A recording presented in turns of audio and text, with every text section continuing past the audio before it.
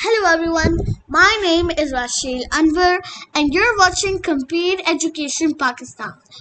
Today we are going to learn about digraph, Unit 1, Part 6, Part 6, Grade 2, English based on One Nation, One Curriculum. And this is um, this digraph, this activity is from our Unit 1 a tiny creature. So let's start. Read the, read the given digraphs in initial and final positions. Initial position, final position, in initial position. In Urdu we say ibtidai maqam. Final position. In Urdu we say akhri maqam.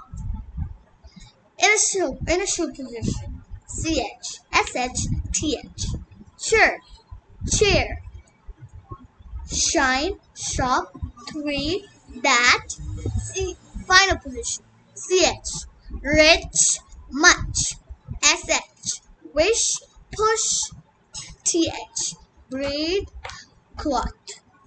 In the previous video, I told you what initial and final and final and final words are. Read me. A digraph is a combination of two letters that makes a single sound. For example, she, thick, dash.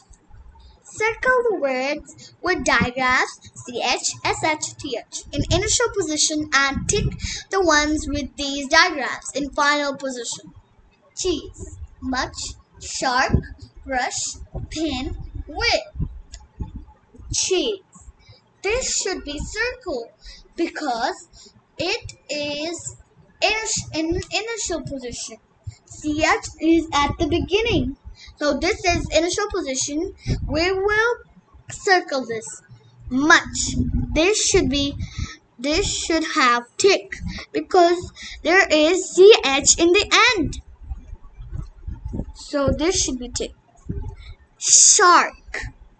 SH. This should be circled because there is SH in the beginning. It is in initial position.